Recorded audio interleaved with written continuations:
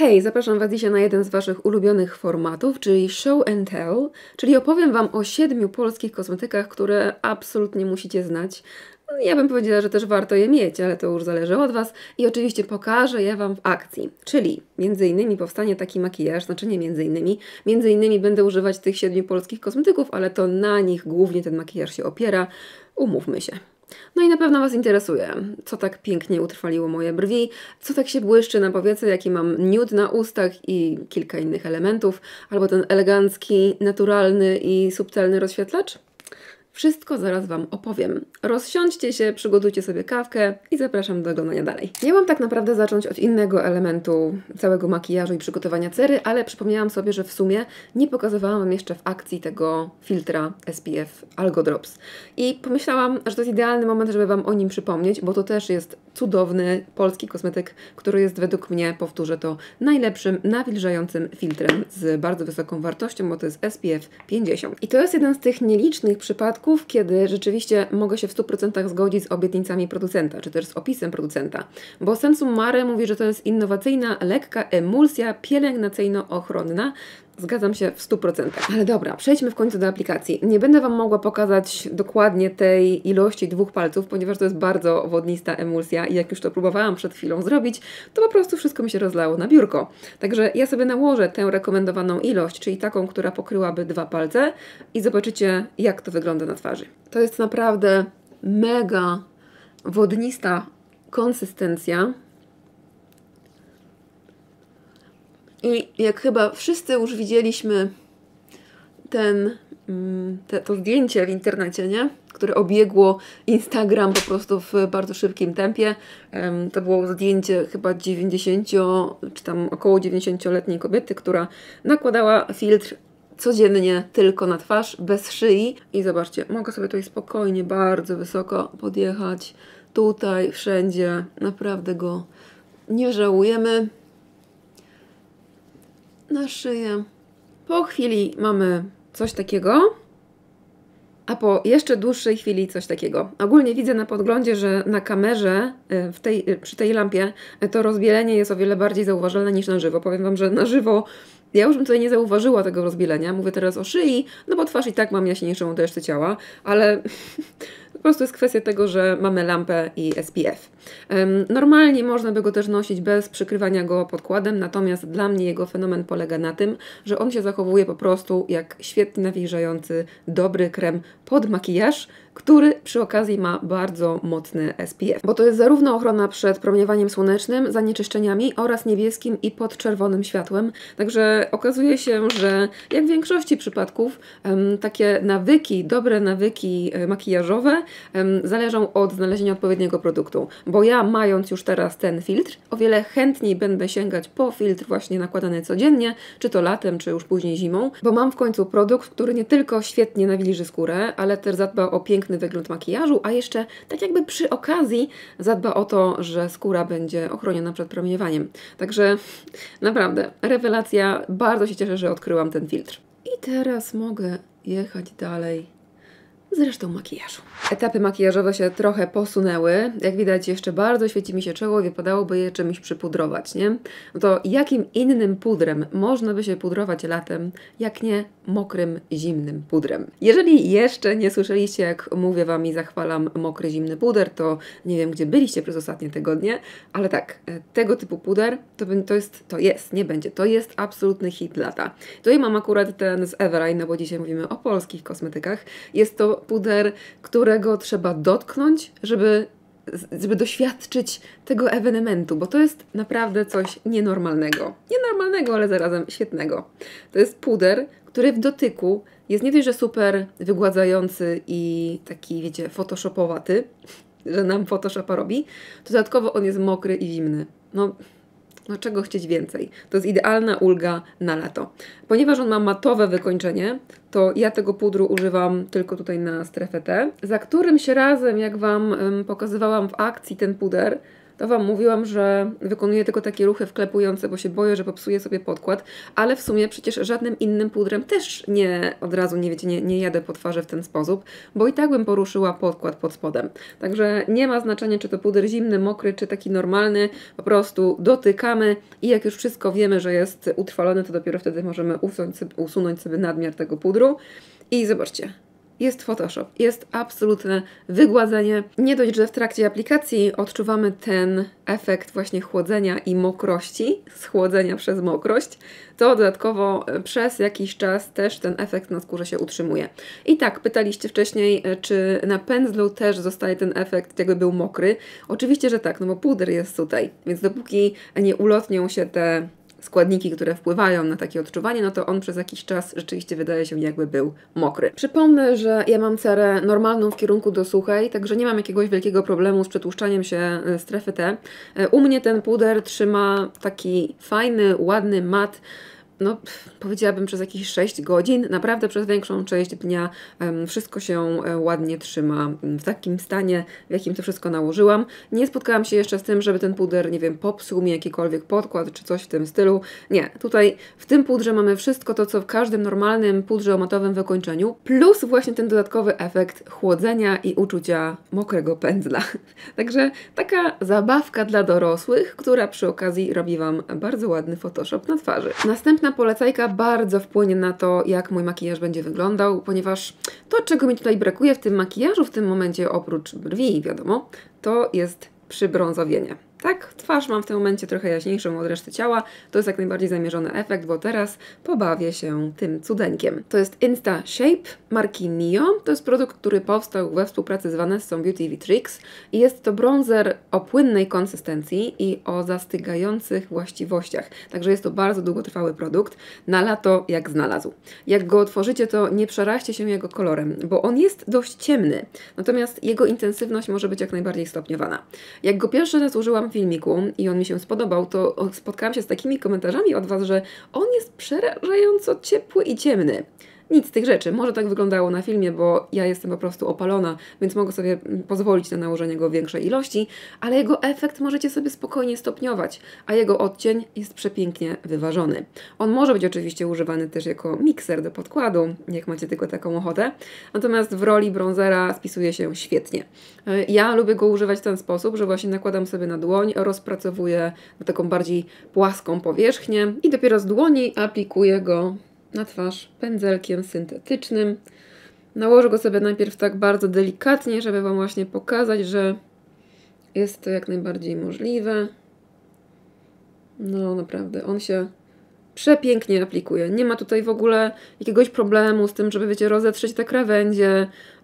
Przez to, że on jest właśnie wodnisty, to jego aplikacja nie e, łączy się z takim mocnym pocieraniem o skórę, czyli po prostu nie zabieracie sobie też podkładu spod spodu. No i tak naprawdę kilka dotknięć pędzlem i taką bardzo lekką woalkę bronzera mamy nałożoną. Ja wolę troszkę intensywniejszy efekt, dlatego sobie dołożę delikatnie drugą strategiczną warstwę, ale jak widzicie na załączonym obrazku, nie ma się czego bać, bardzo przyjemny w używaniu i dodatkowo ta jego właściwość zastygająca, no stawia go w bardzo wyjątkowej kategorii bronzerów zastygających. Zanim jeszcze przejdziemy do następnego elementu, następnej polecajki, pokażę Wam, że tutaj nie ma najmniejszego problemu, żeby wszystko rozblendować. Tutaj mam nałożony ten kremowy bronzer, reszta policzka jest dalej nieprzypudrowana. No jak to przeważnie przy używaniu kremowych produktów bywa. I tutaj mogę sobie elegancko dołożyć pudrowy róż. Nie ma problemu z jakimiś krawędziami czy z czymkolwiek. Ten bronzer zastyga, ale on to robi w bardzo powolny sposób i w bardzo wdzięczny sposób ten e, efekt zastygania jest osiągnięty. W takim sensie, że on jest dalej tak jakby gumowy, nie pęknie Wam na skórze, wiecie co chodzi, tylko właśnie ładnie się komponuje z resztą kremowego konturowania. Zaczęłam sobie już powoli malować dolną powiekę, także na razie to dziwnie wygląda, ale wszystko spokojnie się wyrówna. A my przechodzimy do następnego elementu, następnej polecajki, która jest naprawdę wyjątkowa.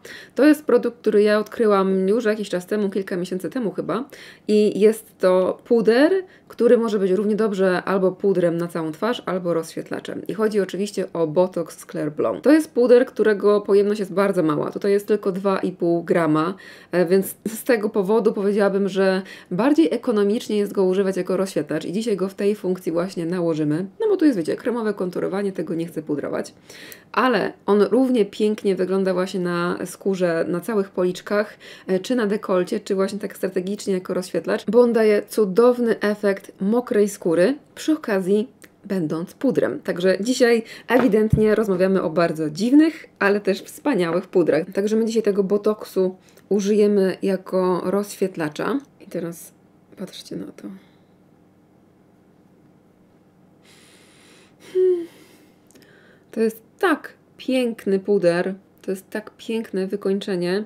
Ja bym to wykończenie, jakie on daje na skórze, jego elegancję i subtelność porównała do tego pudru wypiekanego z Hourglass, który też może być równie dobrze używany jako puder całościowy do twarzy albo jako elegancki i subtelny rozświetlacz. No jest to naprawdę niepowtarzalny, cudowny, subtelny, i elegancki. Subtelny i elegancki to są słowa, które muszą wystąpić przy opisywaniu tego produktu. Ja żałuję jedynie, że ten puder nie jest sprzedawany w jakiejś większej pojemności, bo ja bym się chętnie w nim po prostu wykąpała. On jest naprawdę absolutnie przepiękny. Pokażę Wam tutaj też na obojczyku.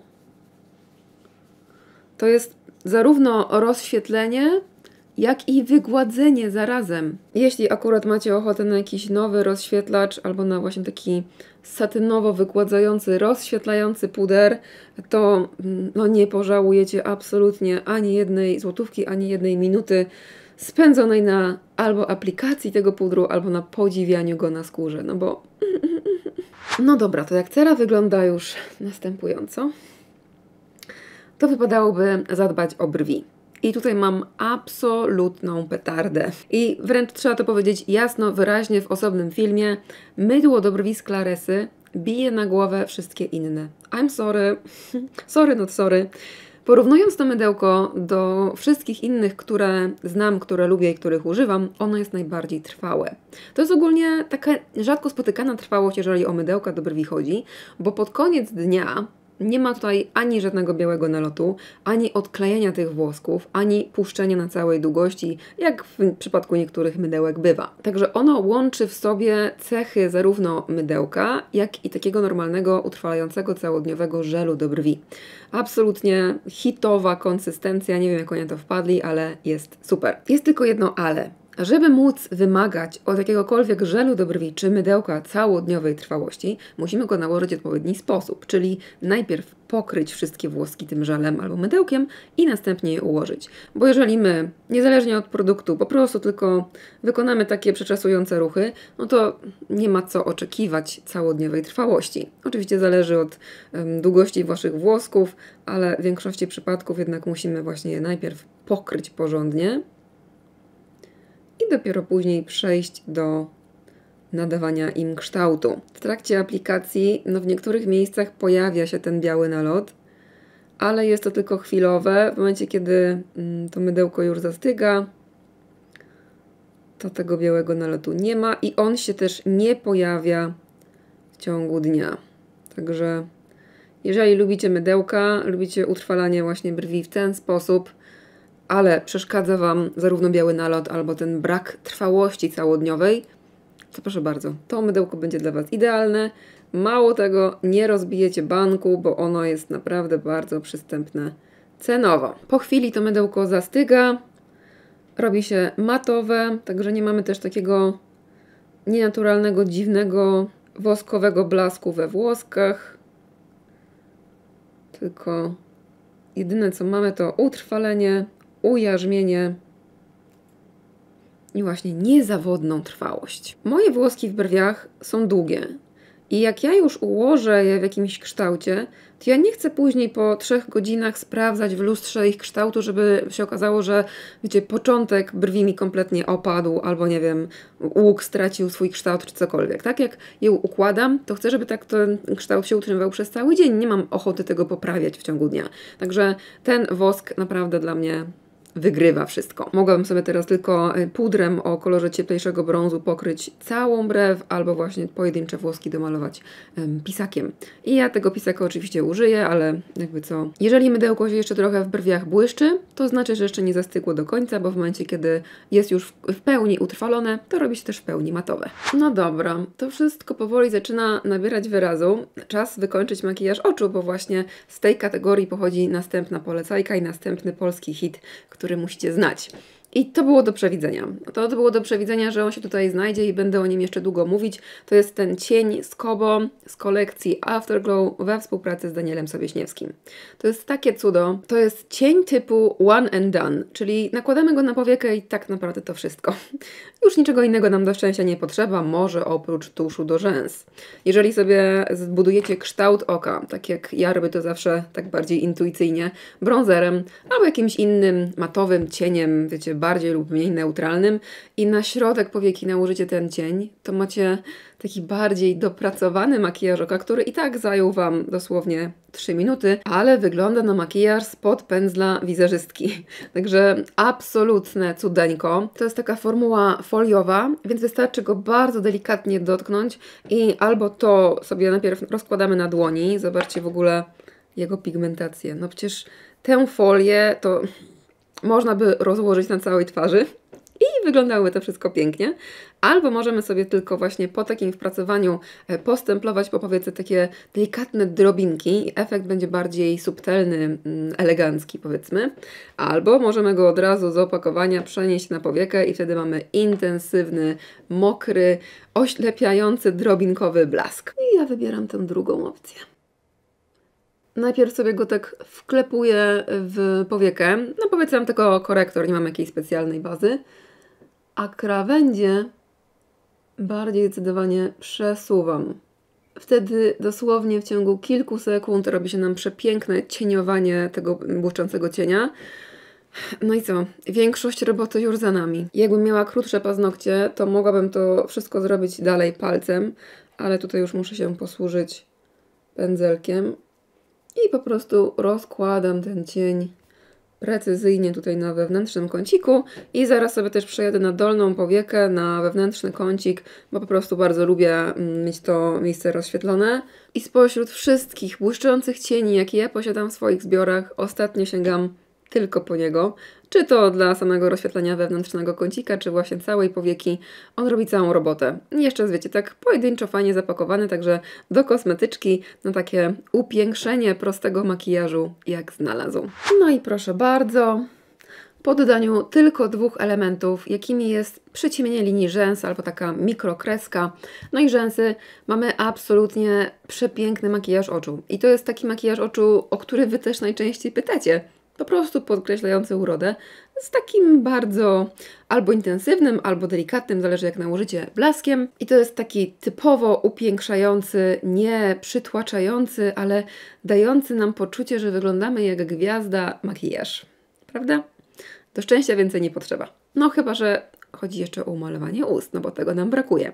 I tutaj mam dla Was dwie perełki i to są pomadki do ust z Bell, tylko z tej serii hypoalergicznej i tutaj mowa o pomadkach Matte and Nude Velvet Lipstick.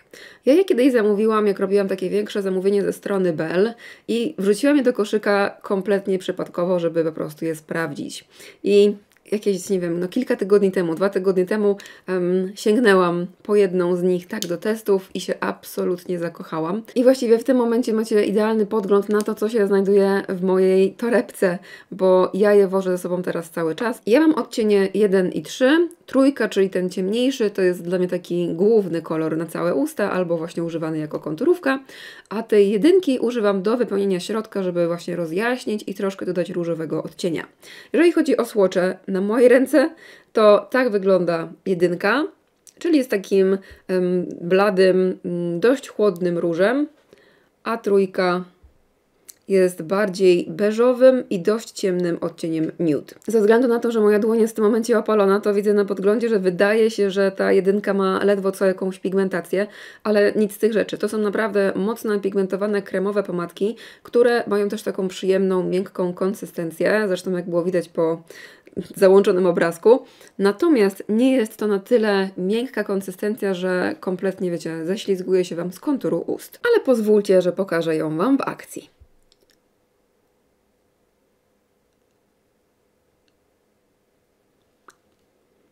To jest przepiękny kolor.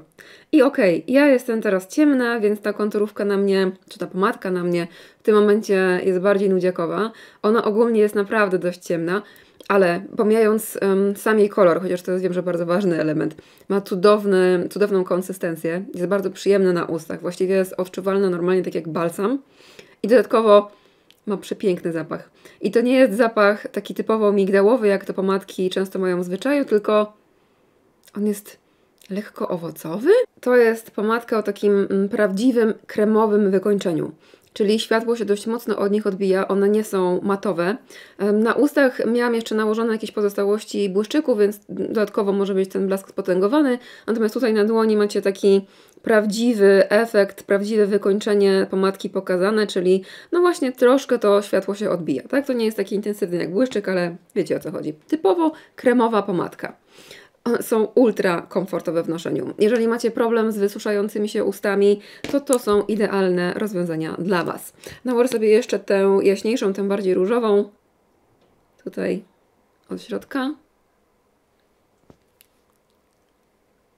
Bo w ten sposób ostatnio je noszę, ale już jak widzieliście poprzednio, ta trujeczka już sama wygląda przepięknie. I tak jak wspominałam przed chwilą, ja je dorwałam akurat na stronie Bell powinny być dostępne normalnie w szafach Bell Hypoallergenic, ale czy tak będzie, to wiecie.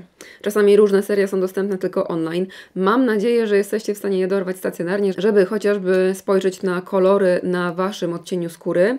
Dla mnie zarówno formuła, jak i forma podania, czyli właśnie taki długi sztyft, są idealne do letniej torebki. Nawet jak potrzebujecie takich szybkich poprawek, albo macie nieumalowane usta, chcecie im dodać trochę koloru, no to one są do tego idealne, bo nie dość, że właśnie mają mocną pigmentację, są mięciutkie i fajnie się rozblendowują, rozcierają na ustach, to jeszcze kompletnie tych ust nie wysuszają. No i słuchajcie, nie żeby coś, ale tak wygląda skończony makijaż, który powstał przy dużym udziale tych super polskich perełek, hitów, które musicie znać. To jest taki typowy, najprostszy, upiększający makijaż, który robi też największą robotę, umówmy się. Jak zawsze mam tego typu makijaż na sobie i gdzieś Wam się pokażę na Instagramie, czy nie wiem, gdzieś na kursie, to później zawsze jest pełno pytań, a co za pomadka, a co za cień, a jak zrobić taki makijaż? No to proszę bardzo, na przykład przy użyciu tych wszystkich produktów. Mało tego, nie dość, że będę wyglądać ładnie i ten makijaż będzie trwały, to dodatkowo jestem chroniona przed fotostarzeniem skóry. Także czego chcieć więcej od makijażu? I jeszcze dodatkowo polskie marki. Za każdym razem jak mam to mydełko z Klarysy na brwiach, to jestem pod wrażeniem jak no ja mam bardzo żywą mimikę, nie? Umówmy się. I jak ruszam tymi brwiami, to przez to, że te włoski są długie, to na przykład jak mocno zmarszczę brwi, to normalnie czuję, jak mnie coś ciągnie za włoski. To, to mydełko utrwala tak masakrycznie mocno. Coś Wam pokażę.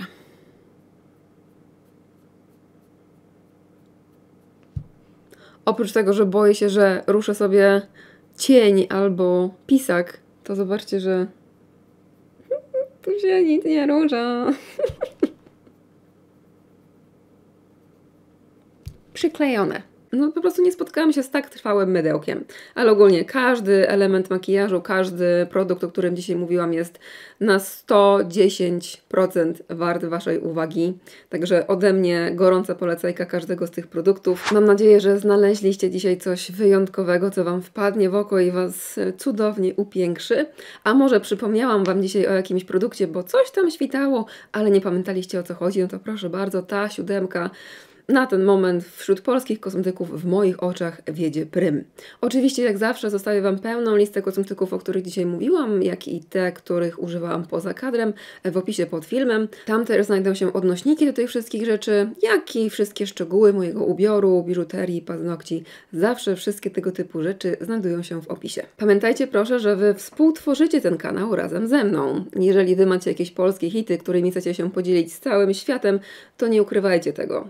Podzielcie się nimi w komentarzach, sama z chęcią się w ten temat zagłębię. Oczywiście z czysto researchowego powodu. A jeżeli się Wam ten filmik spodobał i miło spędziliście ze mną czas, proszę Was o zostawienie kciuka do góry i przypominam o możliwości subskrybowania kanału, żeby być na bieżąco z nowymi filmami.